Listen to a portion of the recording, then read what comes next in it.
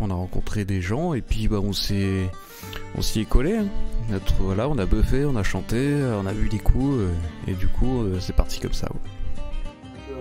Un peu, porté, un peu inspiré par, les musiques antiques, les musiques anciennes, médiévales, liées à la tradition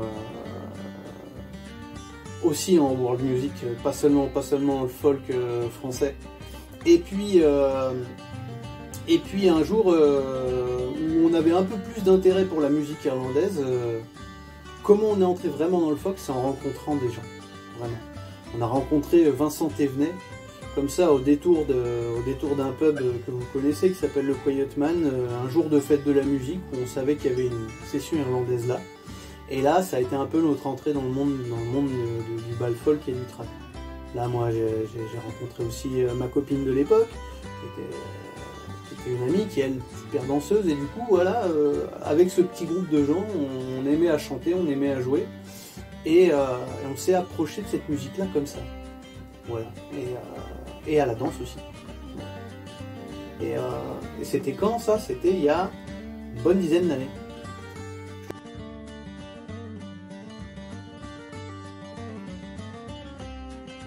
Regarde, ça se voit encore, hein, il y a encore la tonsure. Hein. Euh, j'étais un métalleux, métalleux, rocker, blues. À savoir qu'avec Jérém, on n'a pas, comme par exemple, euh, moi je connais, des tas de musiciens qui sont, nés un peu dans l'ambiance folk, ont été portés par leurs parents au premier Saint-Chartier, ces choses-là. Ces types-là, ils ont été, bercés avec une cornemuse entre les mains ou une vieille roue, euh, une vieille roue dans le couffin. Tu vois Nous, avec Jérém, on a une culture musicale afro-américaine. On a été porté par cette musique-là, du fait que notre père soit musicien de jazz, de blues, de rock. Du coup, on a été bercé dans cette musique-là. Euh, vraiment, on faisait, surtout de la musique, voilà, de la guitare électrifiée. Enfin, pour moi, c'était guitare saturée, euh, blues. Jérémy, euh, un peu polyinstrumentiste, guitare, basse, batterie, piano.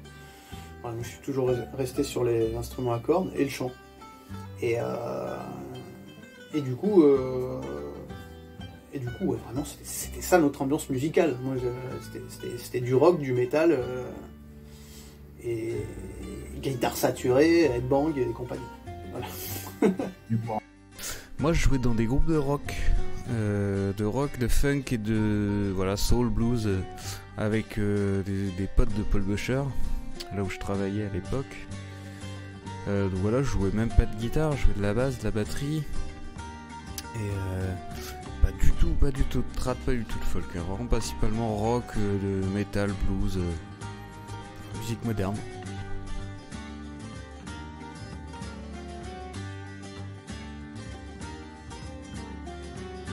On vient on d'une culture musicale afro-américaine, donc bercée par le blues, le rock, les guitares saturées, les batteries, les sons puissants, enfin des choses comme ça. Et, euh,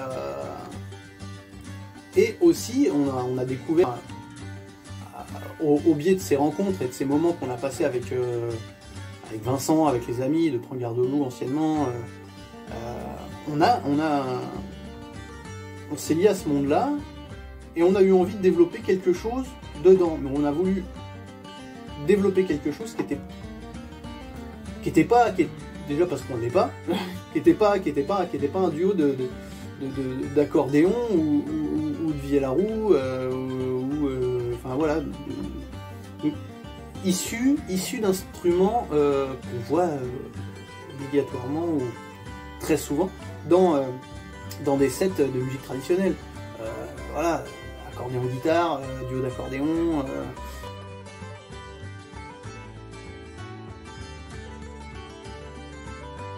le disque, le du balcon, voilà. Donc cet album s'appelle La Belle Vue et est composé de 11 morceaux. Voilà, euh, il y a surtout des compositions.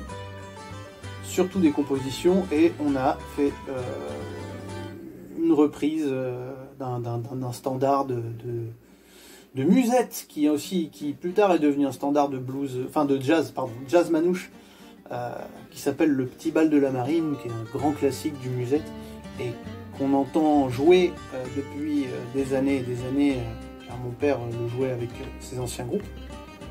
Et, du coup, c'était un, peu, un peu la chanson, un peu hommage à lui. Voilà. Donc, on, a repris du coup ce morceau-là et on l'a refait. Tout le reste, c'est des compos.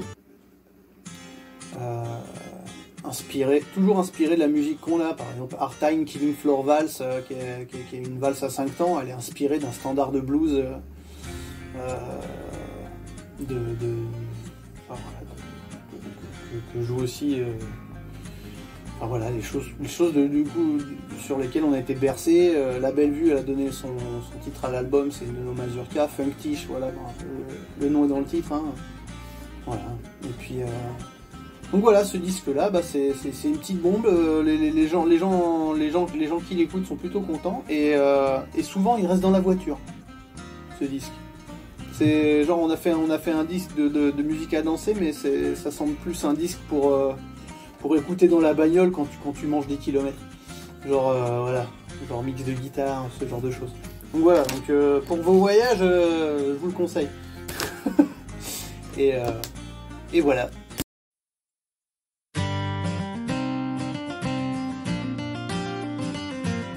Alors, les petits projets. Du coup, moi, je viens de sortir un album solo là qui est sorti en avril dernier, qui s'appelle Hellfire Club. Voilà, ça me tenait à cœur de faire, euh, de faire ce projet-là. Euh, donc, c'est uniquement mes compositions. Et c'est voilà, c'est principalement de la guitare. Hein. Principalement de la guitare. Euh, voilà, sur l'album, évidemment, j'ai fait des petites folies. J'ai rajouté de la batterie, du clavier, de la basse, puisque j'en avais la possibilité. Euh, et, voilà, donc, donc cet album qui est très inspiré euh, des groupes que j'écoute en ce moment, par exemple du King Gizzard, beaucoup de groupes de rock, des groupes de stoner un petit peu, et quelques petites références un peu bluesy et, et, techno des années 2000, puisque j'ai grandi avec ça. voilà, donc vous pouvez le trouver un peu partout, sur toutes les plateformes de stream, ce disque. Euh, voilà, donc iTunes, Deezer, Spotify, Amazon Music et vous pouvez le commander sur Bandcamp en physique ou en numérique, au choix. Voilà pour ce disque. Ensuite, j'ai un projet, euh, un projet avec Coraline, Coraline Loiseau, avec qui je joue euh, aussi dans d'autres projets. Et là, le projet, donc c'est un, un, duo, c'est un duo guitare via la roue. Donc un peu plus trad, petit peu plus trad, mais, euh, toujours, euh, toujours ces, influences rock que, Coco aime beaucoup aussi. Hein. donc euh, du, coup voilà, donc on, fait un bon mix, un bon mix entre tradition et modernité, on va dire. du, de la grosse disto, du gros kick, des, petits, des, petites phrases rigolotes qui arrivent, des petits thèmes de scorpion, de rock, comme ça, de grands classiques qu'on va réadapter pour, la danse. Voilà, ce projet c'est les bûcherons fragiles. Qui est tout neuf encore, on travaille encore dessus.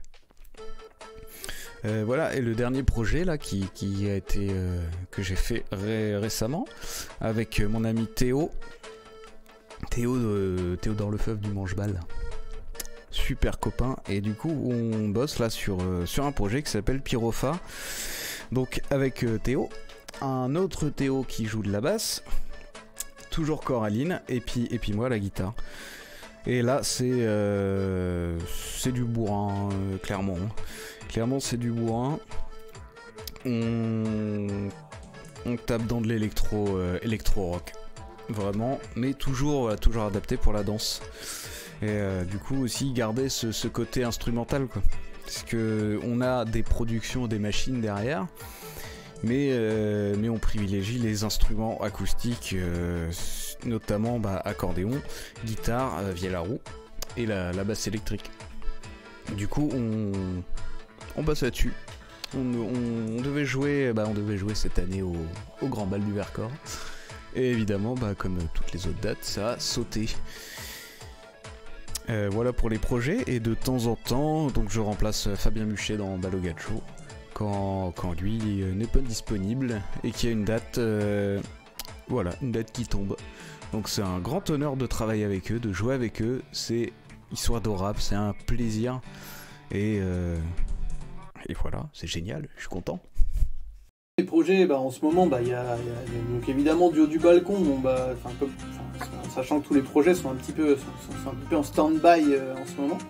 Il y a du haut du balcon, voilà, qui est valeur sûre, qui roule, avec qui ça, marche quand il n'y a, pas, ce genre de, mesures, voilà, restrictions sanitaires et autre chose. Et puis, ici en Italie, j'ai un projet avec ma compagne et un super ami qui s'appelle Trio Oblique, qui est un, qui est un trio guitare, bouzouki, cornemuse irlandaise et whistle, et on chante tous les trois.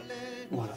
Et, euh, on fait surtout donc bal composition, et, euh, et, on réarrange des morceaux de la tradition euh, chantée du pays gallo. Voilà, donc répertoire de danse type tour, pilé menu, rond Saint-Vincent, ridé. Voilà, donc les choses que vous pouvez aussi retrouver dans le répertoire des copines des conteuses de pas, euh, qu'on faisait déjà avec Prends garde loup avant, euh, dans le répertoire d'Amon Martin Quintette. Euh, voilà, donc ça, voilà, c'est ce répertoire-là. Et, ça, ça, tournait très bien, c'était un peu l'année l'année où ça partait grave, grave à fond. on, on était programmé à plein de festivals, on devait même aller à Boombal cette année, et puis bon bah voilà, sous le nez quoi.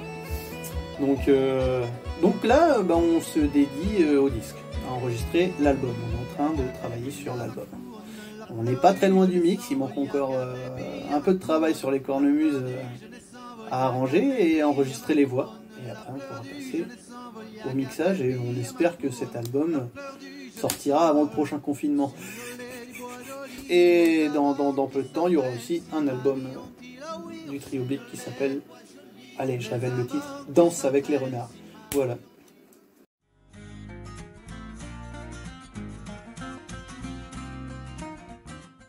Alors aujourd'hui, pour moi, euh, c'est très compliqué. C'est très très compliqué puisque moi je suis passé à côté de mon statut d'intermittent à ça, à ça. Il me restait. Je devais l'avoir en juin, donc en juin 2020 là. Sauf que bah, je suis passé à côté puisque entre mars et juin, euh, j'ai toutes mes dates qui ont sauté. Du coup, ça m'a mis complètement dedans. Et donc voilà, je me retrouve euh, au RSA, hein, j'ai pas peur de le dire je suis au RSA et je ne peux pas jouer, je ne peux rien faire, je suis un petit peu démotivé en ce moment. Mais j'essaie voilà, de garder la tête haute, de retrouver l'inspiration pour composer, pour... Euh, voilà, pour, il faut garder, il faut garder espoir, hein. on n'a pas le choix de toute façon. Alors comment ça se passe? Eh ben ça se passe qu'on est, on, est plutôt frustré. Euh, en nous, on, moi, en tout cas, personnellement, moi, je ronge mon frein. là, je suis dans une... Ça fait depuis février dernier, parce que moi, j'ai vécu le confinement en Italie, qui a commencé un petit peu avant vous. Le premier, en tout cas, du coup, le blocage de tout, euh, voir euh, tous ces concerts sauter, toutes ces dates. Euh, nous, on avait des concerts prévus jusqu'à fin décembre. Et, donc, 8 mois de boulot, de mailing, de paperasse, de entretien avec les groupes euh, de divers danseurs, euh, associations, euh, organisateurs. Et c'était quoi ça Et du coup, tout, tout, ça brûlé, brûlé comme, comme, comme, comme du pollen lancé sur une flamme, tu vois. Donc, donc déjà, il a, fallu, il a fallu faire le deuil de ça. Il a fallu, il a fallu chercher aussi à trouver des moyens de bouffer. Quand on fait que de la musique et qu'on n'a pas de statut, pour le moment, le statut d'intermittent, je l'ai pas du coup. L'année blanche, euh, c'est pareil, c'est sous le nez. Donc, euh, donc non, c'est pas facile. C'est pas facile. Après, euh, on se concentre sur les choses qui sont à faire, comme par exemple en ce moment le disque et, les choses comme ça. La chose qui me manque, moi, le plus dans cette période-là, c'est le rapport que j'ai avec le public. C'est ma drogue. C'est la chose qui me fait, qui me fait être bien. Quand, quand, quand je vois les gens rassemblés, ce qui est proprement interdit aujourd'hui, euh, vu les mesures. Voilà. Quand je vois les gens ensemble, quand je vois les gens qui s'embrassent, quand je vois les gens taper du pied sur le même temps, sur l'accord, quand moi j'ai fait ça, voilà, c'est assez bon, ça me fait du bien, ça me remplit l'âme, ça me nourrit, ça me fait plaisir. Donc ouais, euh, en ce moment, euh, on peut pas dire que la joie soit, on peut pas dire que la vie soit une panacée, mais mais du coup, on tient, on tient bon parce que parce que parce que parce que parce qu'on sait ce qui est bon et on sait, on sait ce qu'on a envie de faire.